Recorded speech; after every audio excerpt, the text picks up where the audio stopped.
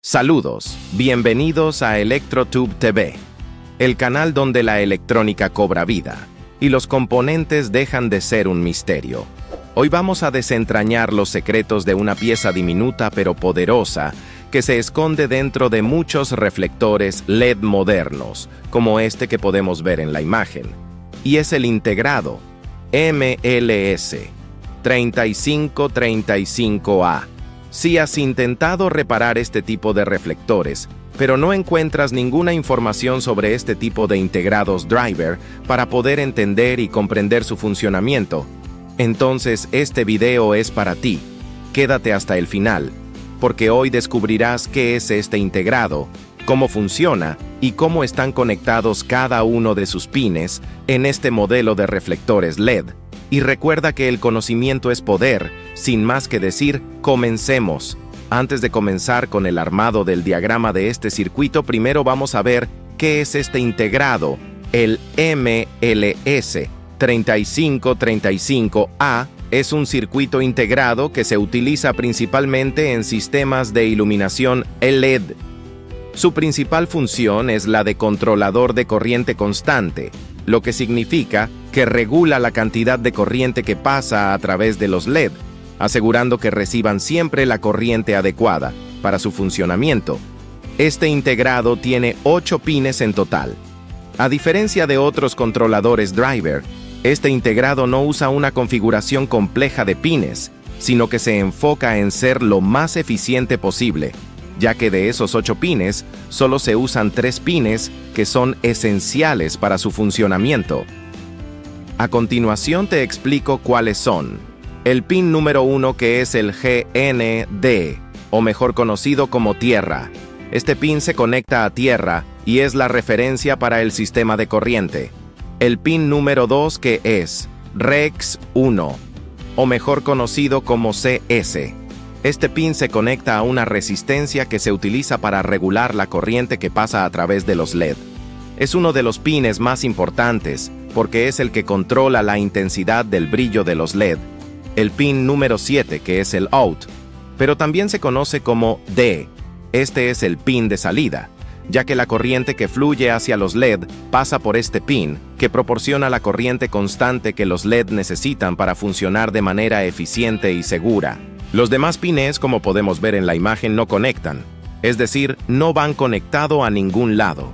Ahora te estarás preguntando, ¿y dónde está el pin de alimentación y cómo se alimenta de voltaje este integrado? No te preocupe, acá te explico. Este integrado driver no tiene un pin de alimentación directa como otros integrados. En lugar de eso se alimenta a través de su salida, lo que se conoce como un sistema de alimentación por la carga, es decir, utiliza ese mismo voltaje para su funcionamiento interno. Este tipo de diseño es muy eficiente y reduce la necesidad de componentes adicionales como reguladores de voltaje externos, lo que hace que el sistema sea más compacto y económico. Si has intentado reparar este tipo de reflectores, LED, y te has dado cuenta que su nomenclatura no es igual a la que estoy mencionando, no te preocupes, acá te dejaré otros que son similares a este integrado driver y cumplen las mismas funciones. Este tipo de integrados driver lo podemos encontrar con muchas nomenclatura o rotulado diferentes, pero su funcionamiento es el mismo. El primer driver es el MLS 3535A. También se puede encontrar como de F6811E, CIT 1000A. SM2082EGS, DP024C, y también podemos encontrarlo de esta manera, parecido a un transistor con la nomenclatura SM2082D y sus variantes, y por último el CIT1000B. Ya teniendo todo esto claro, vamos con el armado del circuito diagrama. Pongamos de este lado la entrada de voltaje de corriente alterna. De este lado esta resistencia que tiene un valor de 2.2 ohmios. Esta resistencia básicamente es un fusible. De este lado un BDR o mejor conocido como varistor, que en este caso está rotulado o grabado como MOV, pero también podremos encontrarlo como RB. De este lado el puente de diodo rectificador, que como podemos ver está rotulado o grabado como debe. De estos lados pongamos los diodos LED, Ahora de este lado el integrado driver y de este lado esta resistencia. Bueno, comencemos. El negativo o tierra, también conocido como GND, del puente rectificador irá conectado directamente al pin número 1 del integrado driver. De esta manera como se puede apreciar en la imagen. Ahora de este lado, que también es la Tierra, irá conectado por medio de esta resistencia directamente hasta el pin número 2 del integrado driver. Ahora de este lado, el positivo del puente rectificador irá conectado directamente a los diodos LED en este puntos, como se puede apreciar en la imagen. Ahora de este otro lado, estos mismos LED irán conectados por medio de una pista o puente directamente hasta estos otros LED que están aquí arriba, lo que a su vez esos mismos LED, como pueden ver de este otro lado, irán conectados directamente hasta el pin número 7 del integrado driver, en este punto. Hay que tener en cuenta que dependiendo de la cantidad de LED y el voltaje que soporten los LED, ya sean LED de 3, 6 o 9 voltios, esta resistencia puede cambiar de valor. Como pueden ver, este reflector usa una resistencia de 7.5 ohmios. Pero de este lado, como podemos apreciar en la imagen, este otro reflector tiene una resistencia de 6.2 ohmios. Y esto se debe a la cantidad de LED que tenga el reflector y si los LED son de 3, 6 o 9 voltios. Y el bateaje del mismo reflector, que en este caso estos reflectores son de 50 vatios.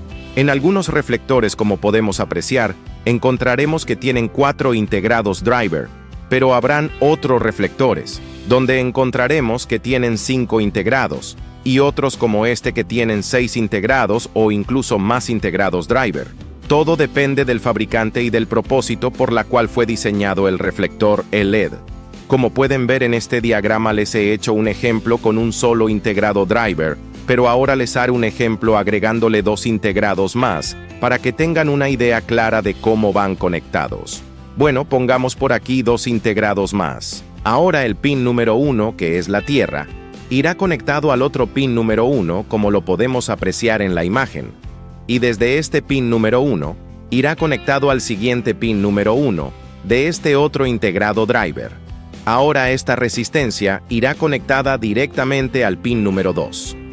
De este otro lado, esta otra resistencia irá conectada también al pin número 2 como podemos apreciar en la imagen.